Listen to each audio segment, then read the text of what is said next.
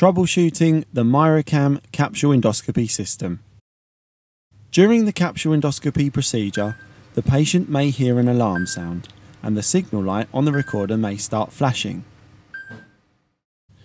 If this happens, check that the belt is tight around the waist and that all the sensors are against the skin.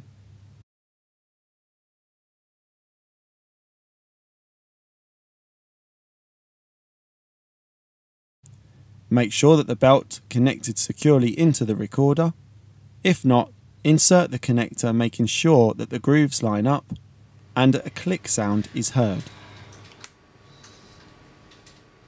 Drink a glass of water and go for a walk. This will help the capsule move through the GI tract and should pick up signal again. Lastly, if the patient has been to the toilet after swallowing the capsule, it is possible that the capsule has been passed and the recorder can be removed and returned to the hospital.